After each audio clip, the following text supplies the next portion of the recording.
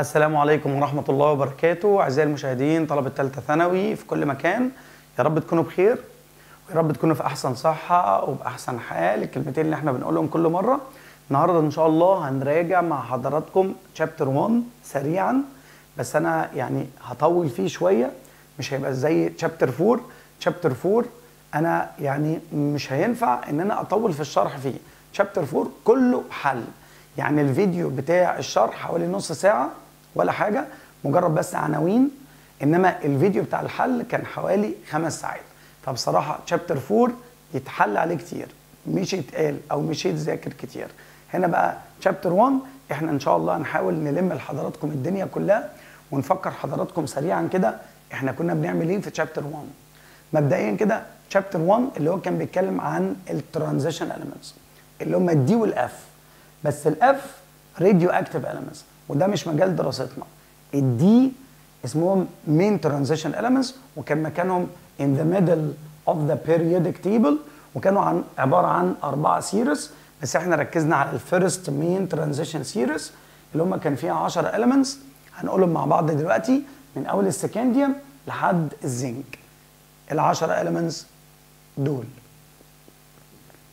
من أول ال scandium Sc 21. لحد الزنك. ليه؟ ليه ركزنا على العشرة دول؟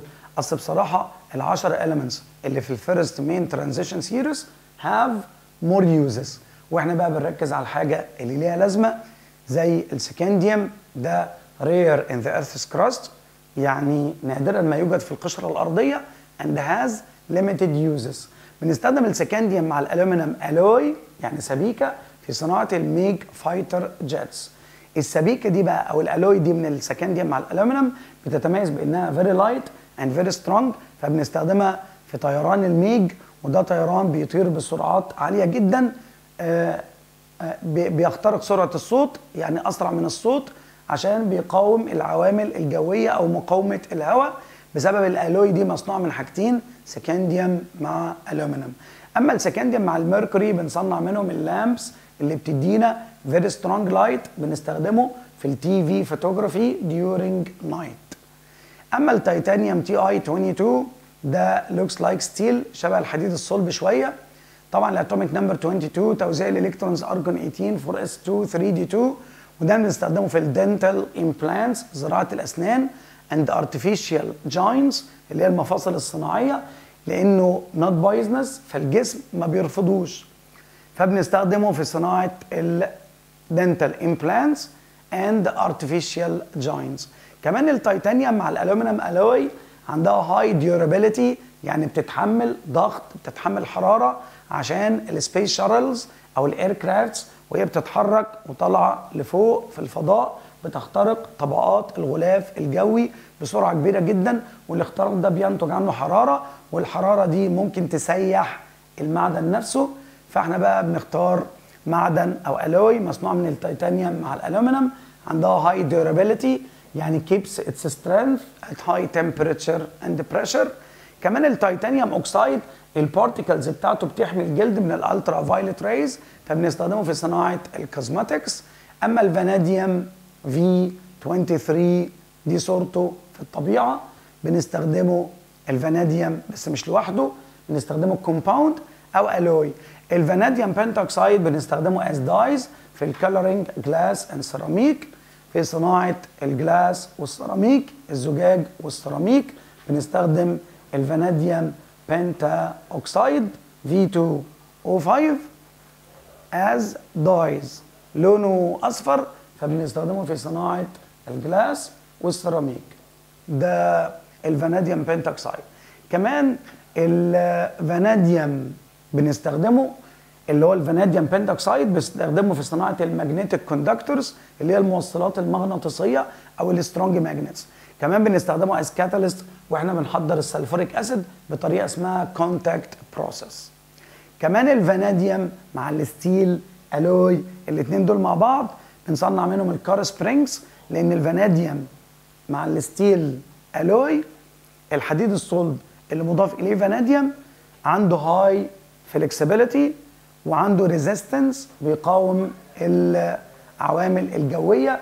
وكمان ال flexibility دي بتخلينا نصنع منه ال car springs ما بيصديش وكمان very strong كمان flexible كل ده بيخلينا نستخدمه في صناعة ال car springs أما ال chromium Cr ده كان فيه exception في ال electronic configuration ارجون 18 4 s 1 و 3 d 5 مش 2 و 4 1 و 5 والكروميوم بقى كنا بنستخدمه في ال leather tanning صبغ أو دبغ الجلود وبنستخدمه في ال plating metals لأن الكروميوم نشط بس بيتأكسد بالأكسجين بتاع ال air ويكون طبقة من ال chromium oxide الطبقة دي بتكون non-porous ما فيهاش فتحات بتمنع ال continuous reaction فال reaction بيتوقف والظاهرة دي اسمها passivity أما النيكل مع الكروميوم بنصنع منهم ال heating coils وال chromium oxide بيستخدم في ال dyes كان لونه أخضر وال potassium dichromate كنا بنستخدمه as oxidizing agent أما المنجنيز فده brittle عنصر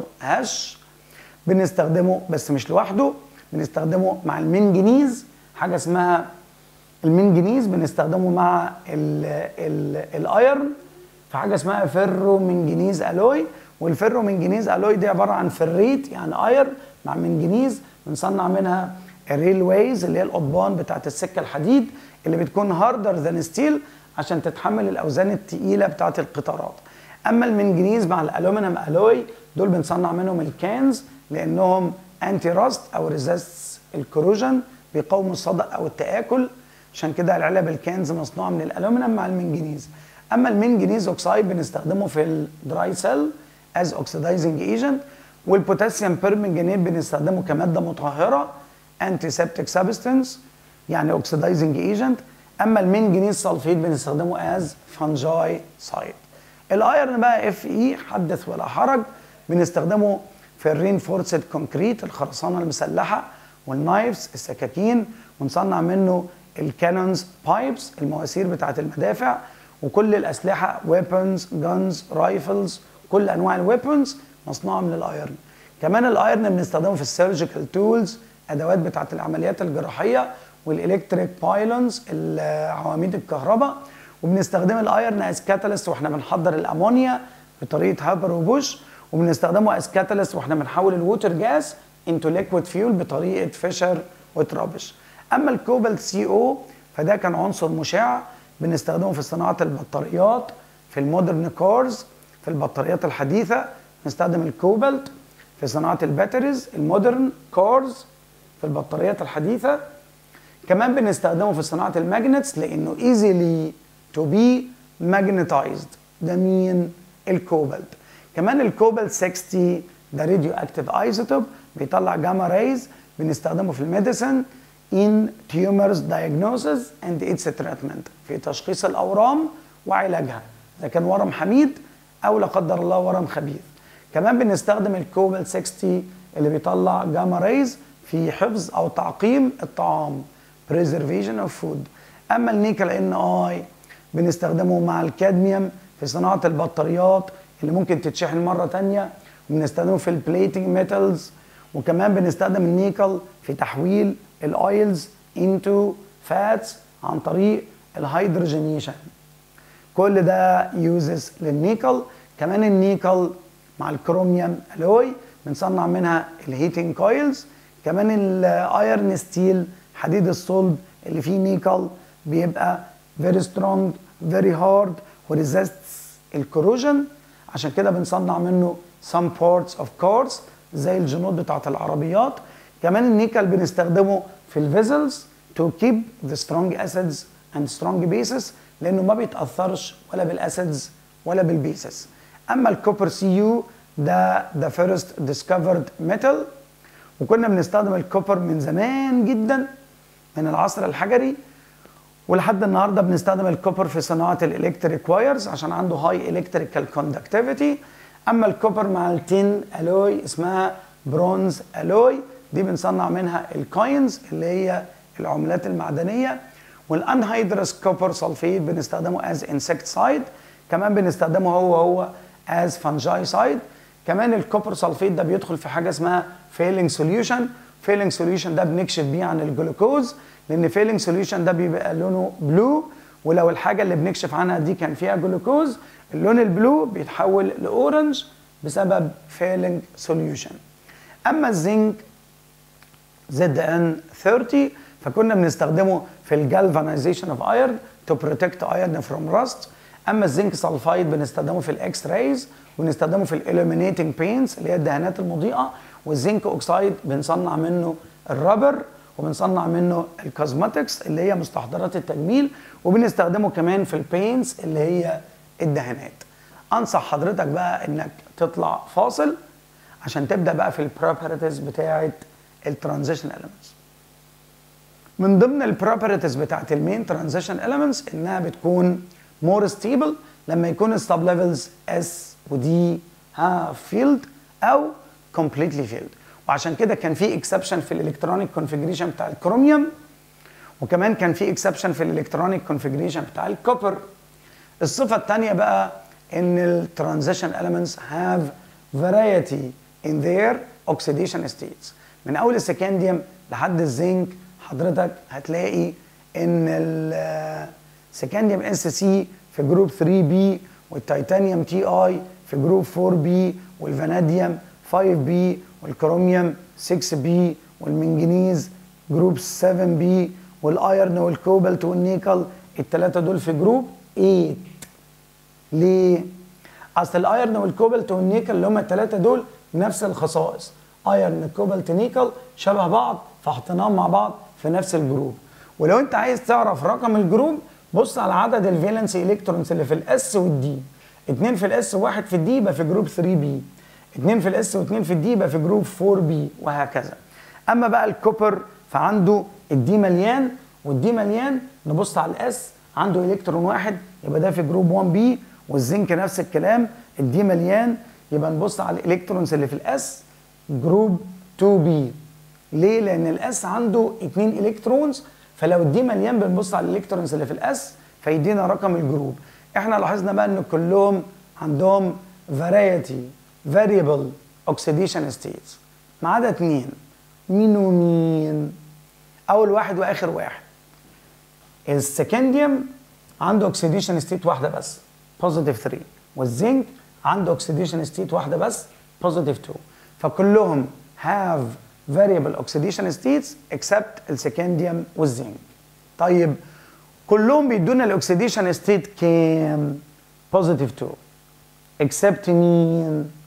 Except السكنديوم الوحيد اللي بيدينا oxidation state positive 3 وده يعتبر exception كمان ال manganese Mn عنده أعلى oxidation state positive 7 وال copper Cu عنده أقل oxidation state positive 1 كمان ال iron Fe بيتميز بإن أعلى oxidation state عنده أقل من رقم ال group. في حين إن كلهم عندهم oxidation state يساوي رقم ال group. إلا ال iron وال cobalt وال nickel الثلاثه دول ال oxidation states بتاعتهم أقل من رقم ال group. أعلى oxidation states عندهم positive 5 وهم في group 8 خصوصا ال iron لأن ال iron أشهر واحد. أما بقى بالنسبة لل لل copper Cu فبيتميز بإنه في group 1 b وعنده oxidation state positive 2 أعلى من رقم ال group. فال element الوحيد اللي عنده oxidation state أعلى من رقم ال group هو ال copper بعد كده ابتدينا نتكلم عن ال density الصفة الثالثة إن ال density بتاعت ال transition elements عمالة تزيد من أول السكنديوم لحد الزنك وده بسبب إن ال atomic mass بتزيد من أول السكنديوم 45 لحد الزنك 65 فال atomic mass لما تزيد ال density تزيد لأن ال volume تقريبا بيكون ثابت ما عدا طبعا حصل exception فين في النيكل ليه؟ اشمعنى ال density بتاعتهم عمالة تزيد ما عدا في النيكل؟ عشان النيكل عنده خمسه isotopes. فاحنا بنحسب ال average atomic mass بتاعت الخمسه isotopes. فلما حسبنا ال average atomic mass بتاع الخمسه isotopes طلع الرقم ده أقل من اللي قبله. اللي قبله الكوبالت 58.9 النيكل 58.6 أو 0.7 فال atomic mass بتاعت النيكل أقل من اللي قبله. فال atomic mass لما تزيد ال density تزيد. ما عدا عند النيكل قلت ورجعت بعد كده تزيد تاني بسبب إن النيكل عنده 5 stable isotopes فال average atomic mass بتاع النيكل كان أقل من اللي قبله اللي هو الكوبالت.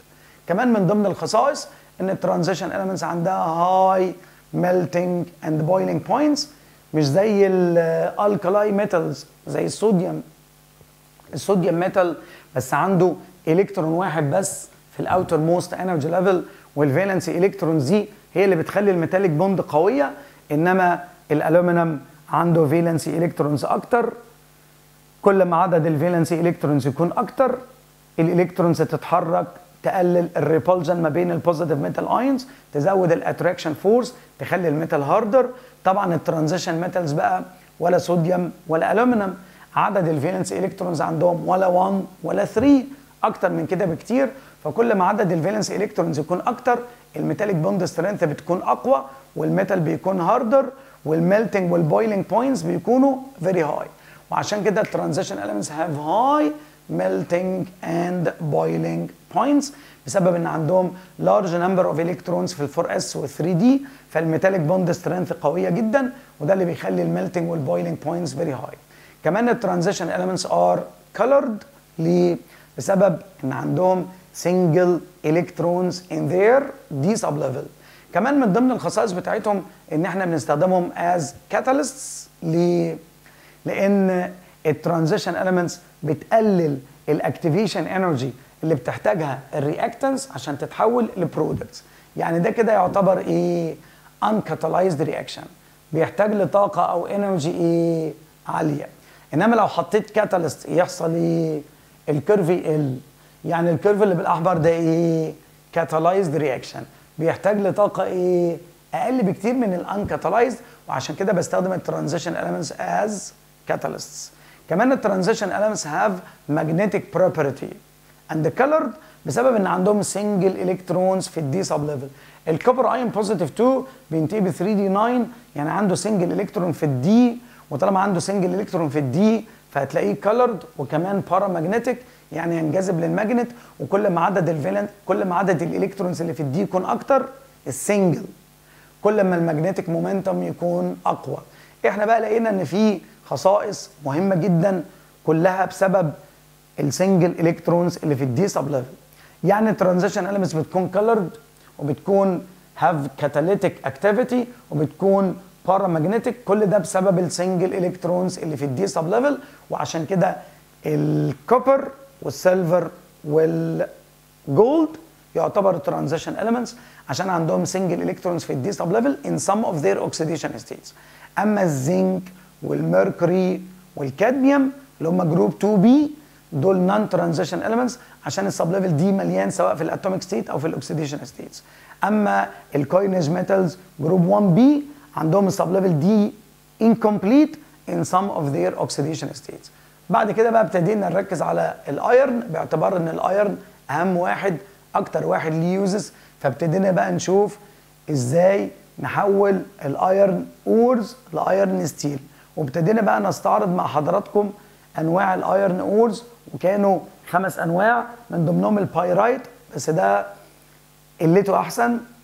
وما بنهتمش بيه ما بنركزش عليه عشان عيوبه كتير جدا. في كمية كبيرة جدا من ال impurities ال percentage بتاعت ال iron قليلة جدا. كمان ال impurities اللي فيه بتكون poisonous فما بنجيبش سيرته. بنشوف بقى الماجنيتايت والهيماتايت والليمونايت والسيدرايت والكيميكال نيم والساينتفك نيم ماجنيتايت هيماتايت ليمونايت سيدرايت دي تعتبر geological name geological names أما بقى ال chemical names عندك ال magnetic iron oxide وال iron 3 oxide اللي هو ال hematite hydrated iron 3 oxide اللي هو ال limonite iron 2 كربونيت اللي هو ال siderite. كل واحد بقى باللون بتاعه بأماكن وجوده. وطبعا قلنا إن الهيماتايت أفضل واحد لأن ليه أعلى percentage لل iron أقل percentage لل impurities نوعية ال impurities اللي فيه غير ضارة ونبتدي بقى نشوف المراحل اللي بيمر بيها الحديد من أول لما بنجيبه ore في الصحراء يعني خام لحد ما نحوله ل iron steel. المراحل دي اسمها metallurgy أنصح حضرتك إنك تطلع فاصل لو ما طلعتش فاصل عشان تبدأ تعمل refreshment وتفهم بقى إن ال metallurgy معناها إن إحنا نحول الحديد من iron ore ل iron steel. في آخر مرحلة من ال metallurgy اللي هي مراحل التعدين بننتج حديد صلب اللي هو عبارة عن iron وعليه حاجات تانية. بس هو المشكلة بقى إن ال iron عشان يتحط عليه حاجات تانية أنت أصلا لازم تجيب ال iron الأول من الهيماتايت فالمرحلة اللي قبل ال production إنك تعمل reduction وتحول ال hematite into iron إزاي؟ عن طريق أفران blast أو Midrex furnace المشكلة بقى مش هينفع الهيماتايت اللي جاي من الصحراء بزبالته برملته يتحط في الأفران. فالمرحلة اللي قبل ال reduction إن حضرتك تجهز ال ore. يعني نعمل إيه؟ نكسر الأحجام الكبيرة ونصغرها عشان يبقى سهل يحصل لها reduction في الأفران. والأحجام الصغيرة قوي نكبرها يعني نعمل sintering واضح طبعا ال crushing عكس ال sintering في ال crushing الأحجام الكبيرة بنصغرها وال sintering الأحجام الصغيرة بنكبرها. وال concentrating يعني تركيز أو purification بيتم بطريقتين. طريقة عن طريق ال magnet اسمها magnetic separation وطريقة عن طريق المية والزيت ودي بتعتمد على حاجة اسمها surface tension وعلى فكرة كل اللي باللون الأصفر ده يعتبر physical improvement بنحسن ال ore physically إنما لو عايزين نحسنه chemically اللي بالأحمر دي بنعمل حاجة اسمها roasting يعني نسخن ال ore strongly in air طيب السؤال بقى أنت ليه لما بتحسن ال ore chemically by roasting ليه بتسخن ال ore؟ والله حضرتك بسخن ال ore عشان لو كان ال ore ده limonite إحنا نسخنه فالميه اللي فيه تتبخر لأن مش هينفع نحطه في الأفران بميته عشان الحرارة بتاعه الفرن تحول ال hematite ل iron مش تبخر المية اللي في ال limonite. كمان عشان نزود ال percentage بتاعة ال iron في ال ore فلو كان ال ore siderite وإحنا سخناه هيتحول ل FeO وال FeO سهل جدا يتأكسد ويتحول لهيماتايت. نسبة الحديد في ال siderite 48% وتحول لهيماتايت نسبة الحديد في الهيماتايت 70% طب لو ال ore كان limonite بنسخنه roasting عشان نبخر المية.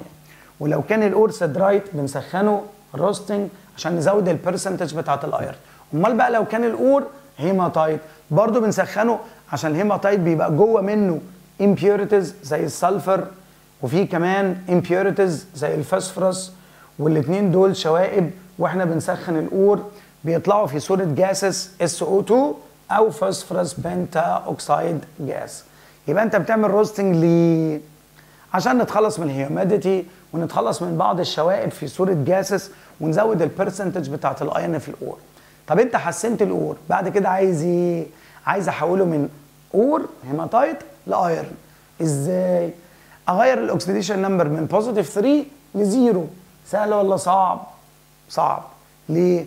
ال iron هنا positive 3 بينتهي ب 3d5 يعني ال energy sublevel دي half filled يعني more stable وصعب جدا تحول حاجة more stable لحاجة تانية لسه stable فبنضطر إن إحنا نسخن قوي في درجة حرارة أعلى من 700 ونستخدم reducing agent الكلام ده بيحصل فين؟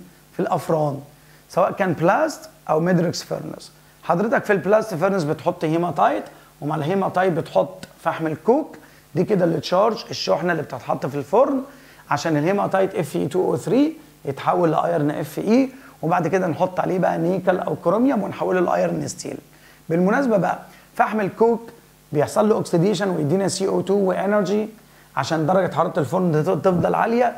وال CO2 مع ال extra amount من الكوك بيحصل له reduction ويتحول لسي أو والسي أو ده بقى هو اللي يعتبر reducing agent هو اللي هيحول الهيماتايت into iron Fe ويبقى إحنا كده عندنا ال charge حاجتين هيماتايت وكوك عندنا ال reducing agent carbon monoxide ده اللي بيحول ال hematite ل iron والمصدر بتاع ال carbon monoxide هو فحم الكوك عشان كده أنا بحط حاجتين هيماتايت وكوك في ال blast furnace الموضوع ما فرقش كتير نفس الفكرة برضو.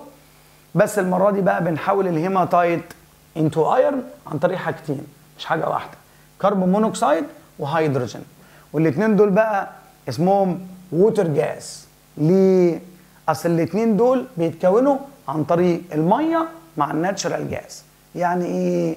يعني حضرتك هنا بتحط هيماتايت بس عشان يتحول ل iron وبتدخله من هنا حاجتين carbon monoxide وهيدروجين اللي هم ال water gas فال CO يسحب الأكسجين ويطلع CO2 وال H2 يسحب الأكسجين ويطلع H2O وإحنا بقى بناخد ال gases دي carbon dioxide وميه ونعمل لهم passing نمررهم على ال natural gas ميه و natural gas اللي هيتكون ده هيبقى اسمه water gas ده كده ال two reactions اللي بيحصلوا في Midrex furnace طبعا لازم تبقى فاهم ان ال charge حاجة واحدة hematite وال reducing agent حاجتين carbon monoxide وهيدروجين بنقول عليهم water gas اما ال source بتاع ال reducing agent كان ال natural gas اللي هو الميثان عشان تبقى فاهم الفرق ما بين الفرن الأولاني والفرن الثاني في المرحلتين بقى أو في الفرنين مش المرحلتين في الفرنين سواء blast أو Midrex إحنا بنحول ال hematite ل iron. في المرحلة الثالثه بقى اللي هي ال production بناخد ال iron ده بقى ونحط عليه نيكل أو كروميوم أو فاناديوم أو كربون أو منجنيز ايا كان. دي أنواع من ال iron steel والكلام ده بيتم في أفران زي ال oxygen converter أو ال open hearth furnace أو ال electric furnace دول بيستخدموا لانتاج الحديد الصلب. بالمناسبة بقى الحديد الصلب ده مش iron pure ده بيكون iron alloy وبيكون iron وكربون وعليهم حاجات تانية. وإحنا بقى عندنا ثلاث أنواع من ال alloys interstitial substitutional intermetallic إيه الفرق؟ في النوع الأولاني interstitial بتبقى ال atoms بتاعت ال added element اللي هو الكربون بتحتل ال intermolecular spaces ما بين ال atoms بتاعت ال pure element اللي هو ال iron وعشان ال atoms بتاعت ال added element بتدخل في المسافات اللي ما بين ال atoms بتاعت ال pure element فبنسمي النوع ده من ال alloys interstitial alloys وفي النوع ده من ال alloys ما بيحصلش reaction في النوع ده من ال alloys بيتكون mixture لأن ما بيحصلش chemical reaction ما بين ال components بتاعت ال alloy النوع الثاني بقى بنقول عليه substitutional alloys ودي نوع أو ده نوع من ال alloys بيتكون لما يكون ال atoms اللي بتكون ال alloy شبه بعض. نفس ال diameter ونفس ال chemical properties ونفس ال crystalline structure such as النيكل مع الكروميوم اسمها نيكل كروميوم أو ال iron مع النيكل اسمها ferro nickel أو ال iron مع الكروميوم اسمها ferrochrome alloy أو ال gold مع ال copper أو ال copper مع الزنك اسمها brass alloy اللي بنصنع منها المقابض بتاعت البيبان.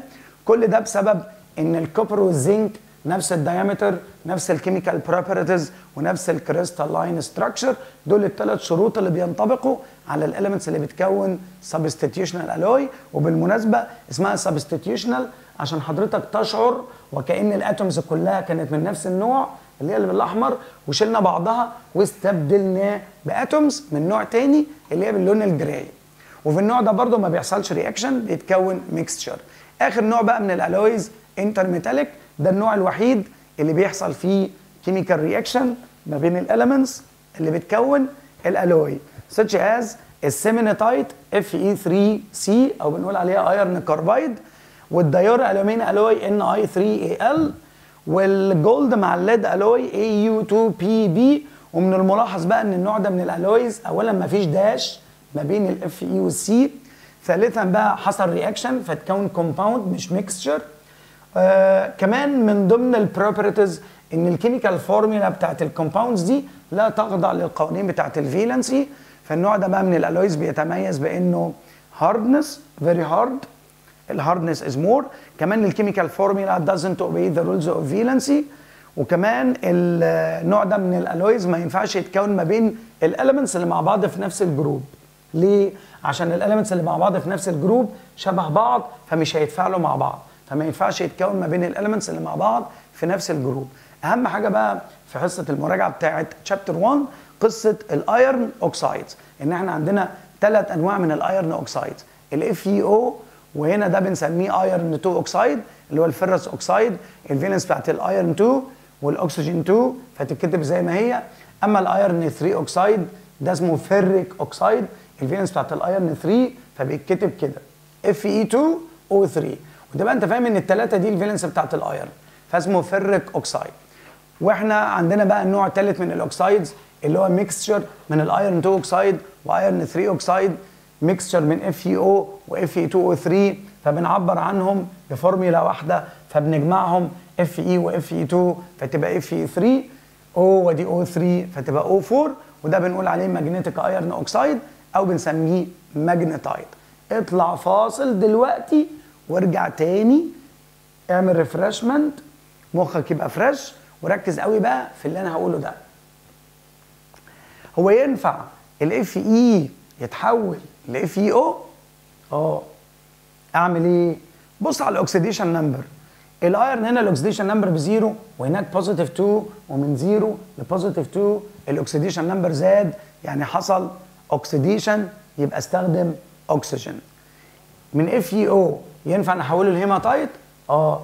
ال iron هنا positive 2 وهناك positive 3 ال oxidation number زاد يبقى حصل oxidation ولو Fe وتحول لهيماتايت ال oxidation number زاد من 0 ل positive 3 يعني حصل oxidation يبقى استخدم اكسجين بس حضرتك بقى لو مركز هتلاقي إن الفرق في ال oxidation number هنا 2 من 0 ل positive 2 والفرق في ال oxidation number هنا 1 من positive 2 ل positive 3 والفرق هنا في ال oxidation number 3 من 0 ل positive 3 ال temperature ما بتتحفظش. درجة الحرارة ما بتتحفظش. لما تغير ال oxidation number من 0 ل positive 2 الفرق 2 ده وسط. لما تغير من positive 2 ل positive 3 الفرق بواحد ده أصغر فرق. لما تغير من 0 ل positive 3 يعني الفرق في ال oxidation number 3 ده أكبر فرق. هنا الفرق في ال oxidation number 2 يعني وسط يبقى ال temperature وسط من 400 ل 700 وهنا الفرق واحد من positive 2 ل positive 3 أصغر فرق. يعني ال temperature أقل من 400 بنعبر عنها ب triangle لو عايز تحول ال Fe ل hematite ال oxidation number من 0 ل positive 3 الفرق 3 ده أكبر فرق. يبقى ال temperature هنا أعلى temperature يعني اعلى, من 700 وعكس ال oxidation reduction يعني ينفع نحول ال hematite ل Fe O آه. من positive 3 ل positive 2 ال oxidation number قل يبقى حصل reduction يبقى استخدم هيدروجين أو carbon monoxide أو الاثنين مع بعض اسمهم water gas وطبعا من positive 3 ل positive 2 يعني الفرق ب 1 وده كان أصغر فرق يبقى أقل درجة حرارة اللي هي triangle يعني أقل من 400 من Fe O ل Fe ال oxidation number قل من positive 2 ل zero يعني الفرق 2 وده فرق وسط يبقى ال temperature هنا وسط من 400 ل 700 وطبعا استخدم الهيدروجين as reducing agent لما احول ال hematite ل Fe ال oxidation number من positive 3 ل zero يعني قل يبقى حصل reduction يبقى استخدم هيدروجين أو carbon monoxide أو الاثنين مع بعض اسمهم water gas ومن positive 3 ل zero الفرق 3 وده فرق كبير يبقى ال temperature هنا كبيرة يبقى أعلى من 700 وده بيتم في الأفران. لما أجي أقول لحضرتك بقى الهيماتايت إزاي نحوله ل FeO بص على ال oxidation number من positive 3 ل positive 2 ال oxidation number قل يبقى حصل reduction يبقى استخدم هيدروجين هيسحب الاكسجين ويطلع H2O ومن 3 ل 2 الفرق ب 1 وده أصغر فرق يبقى دي أقل درجة حرارة. أقل من 400 بنعبر عنها ب triangle وال magnetite نفس الكلام نفس الفكرة ان ده mixture من حاجتين جزء منهم FeO والجزء الثاني أهو اف اي 2 أو 3 فبرضه بنفس الطريقة يحصل له reduction ويدينا FeO أما ال iron 2 oxalate لما بنسخنه بس بشرط in absence of air يتفكك لثلاث أنواع من ال oxides FeO و CO و CO2 في حين بقى إن ال siderite لما بنسخنه بيتحول ل FeO بس بشرط in absence of air عشان لو في هواء ال FeO هيتأكسد ويتحول لهيماتايت كم طريقة بنحضر بيها ال FeO أربع طرق نحضر بيهم ال FeO طب ال chemical properties بقى. ال FeO بما إنه basic oxide عشان ال iron metal يبقى كده يعمل reaction مع acids طب لو عايز أحول الاف اي أو لاف اي 2 أو 3 وغير ال oxidation number من positive 2 ل positive 3 يعني ال oxidation number زاد يعني حصل oxidation ومن 2 ل 3 الفرق ب 1 يعني أقل فرق يبقى ال temperature أقل temperature وعلى فكرة في فيديو موجود على اليوتيوب لوحده مركز على الحتة دي اسمه الخلاصة ومركز فيها أكتر بكتير. إنما دلوقتي أنا عشان بلم ال chapter كله فبتكلم بسرعة. طب ال FeO ينفع نحوله ل Fe آه. ال iron هنا positive 2 وهناك ب zero يبقى ال oxidation number قل يبقى حصل reduction يبقى استخدم هيدروجين هيسحب الاكسجين هنا ويطلع لنا H2O أو carbon monoxide أو الاثنين مع بعض مش هتفرق. وطبعا من positive 2 ل zero الفرق ب 2 وده كان فرق وسط يبقى ال temperature هنا وسط من 400 ل 700 زي ما قلت لحضرتك بقى ال Fe ده metal وال oxide ده basic oxide هيعمل reaction مع ال acid ويدينا salt and water وخلي بالكم ده neutralization فلو ال iron هنا positive 2 يطلع هنا Fe positive 2 يعني اف اي سي ال 2 لو 3 يطلع هناك positive 3 لأن كلمة neutralization معناه إن ما حصلش ولا oxidation ولا reduction اللي داخل positive 2 بيطلع positive 2 واللي داخل positive 3 بيطلع positive 3 تمام كده؟ طب ال acid بقى هنا diluted ولا concentrated ما بنحفظهاش. بص على ال Fe اللي داخل. هو 2 ولا 3 positive 2 اللي هو ال ferrous وده بينتهي ب 3d6 وطالما 3d6 يبقى ال energy sublevel d ولا complete ولا half filled يعني less stable وطالما less stable أي حاجة هتأثر فيه. حتى لو كان ال acid diluted يبقى حضرتك بقى لو جبت ال FeO وحطيت عليه أي acid سواء hydrochloric acid أو sulfuric acid diluted هيحصل reaction طب لو كان ده positive 3 و more stable وحطيت عليه diluted acid مش هيحصل reaction السؤال بقى ينفع تحول أي واحد من دول iron 2 oxalate مثلا ينفع تحوله ل iron 2 sulfate آه كم خطوة؟ خطوتين. أسخن ال iron 2 oxalate in absence of air يدينا FeO آخد ال FeO مع sulfuric acid diluted يدينا ferrous sulfate طب ينفع تبدأ ب magnetite أو هيماتايت وتحولهم ل FeCl2 آه. هبدأ بده أو ده أعمل له reduction يدينا FeO آخد ال FeO مع ال HCl diluted يدينا اف اي سي ال 2 ده عشان الأسئلة بتاعت ال how to obtain بنفس الطريقة بقى ال iron يحصل له oxidation ويدينا hematite ال ferrous oxide يحصل له oxidation ويدينا hematite ال ferric hydroxide نسخنه فيدينا هيماتايت ويتبخر المية. ال ferrous sulfate بنسخنه في ال air فيدينا hematite و SO2 و SO3 كم طريقة بنحضر بيها الهيماتايت؟ أربع طرق بنحضر بيهم الهيماتايت. طب الهيماتايت ينفع نحوله ل Fe آه. ال oxidation number من positive 3 ل 0 يعني قل يبقى حصل reduction يبقى استخدم هيدروجين أو carbon monoxide أو الاثنين مع بعض. ولو هيدروجين هياخد الأكسجين ويطلع H2O بس طبعا من positive 3 ل 0 الفرق كبير جدا. فرق 3 وده فرق كبير يعني درجة حرارة كبيرة أعلى من 700 وبنفس الطريقة.